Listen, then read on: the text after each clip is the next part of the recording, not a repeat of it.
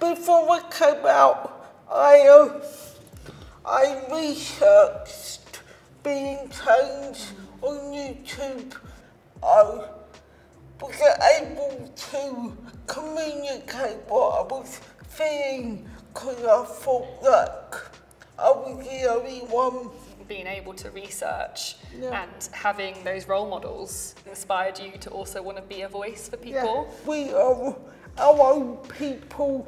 We have voices and varied voices at that. Everyone has got a different experience, but different aspects of the same experiences could mean the world to someone who are finding their true selves. So, what would it have been like for 14 year old Terry to see 33 year old Terry on TikTok? I'll probably be a different man mm-hmm. and I'll probably be who I truly was at a younger age. Mm-hmm.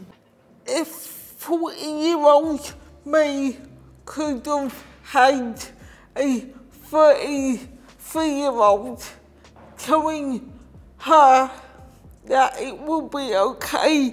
And you're okay, you're perfect, you're who you want you to be, be who you want to be, and don't listen to anyone else.